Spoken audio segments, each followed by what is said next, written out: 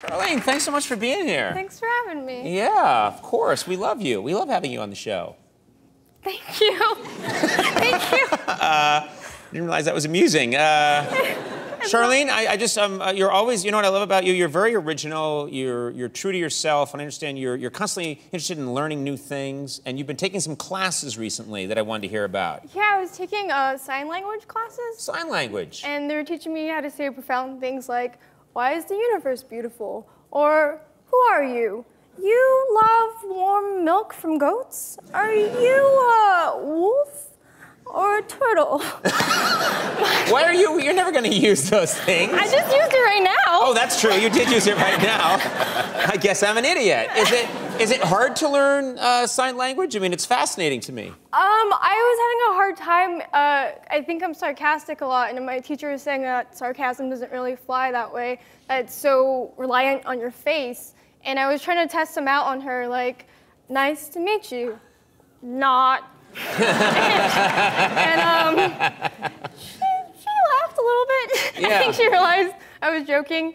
But I realized like uh, like we all have these like neutral faces, and I think I like usually look sad, and people don't know what I'm saying in sign language, so it's just like I'm good, and no one believes me, and.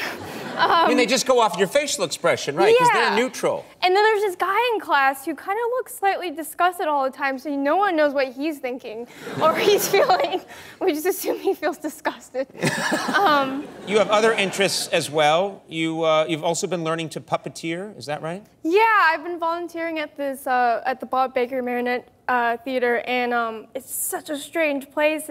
I feel like I'm hanging out with all the cool kids who like puppeteering at the breaks. They're all smoking, talking, being all cool. The and puppeteers are cool guys? Yeah. yeah, I think they're cool. I never in my life thought like I'm gonna go, I'm gonna hang with those cool puppeteers. they, they don't let me uh, puppeteer, they let me pull the curtains and open them. And um It's worth it just to be around those cool, cool puppeteers. Yeah. um, and we were talking to uh, Bob, he's like 88, and he's He's nice. Oh, the guy that runs it is 88? Yeah. Okay. That's getting up there, yeah. He's a, he's a very nice And I was telling him, I was like, oh yeah, could we do some shows there to bring audiences there? Because they're trying to save the theater. And he's like, what's in it for you? What do, what do you win for it? Everybody wants something. And I'm like, I don't want anything. He's like, bug dust. Everybody wants something. What? He's like, what are you gonna do if there's tap dances? I was like, I don't know, get some tap dancing board? Bug dust. We don't got insurance for that.